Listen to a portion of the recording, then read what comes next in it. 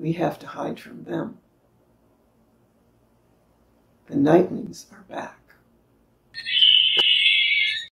Hi, my name is Milan Smith, and this is.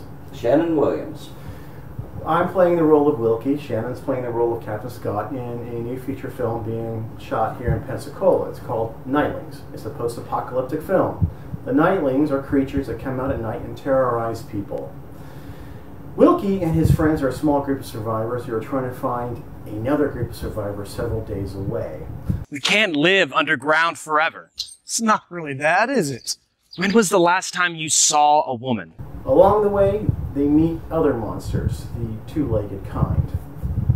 We're gonna have a little talk while I decide what to do with you. Nightlings is a purely Northwest Florida project. The entire cast, crew, cinematographers, directors, writers are all from the Pensacola area. We'll be shooting locally, and um, we're asking for your support. So please help us with donations or just sharing this message. And please go to Indiegogo.com.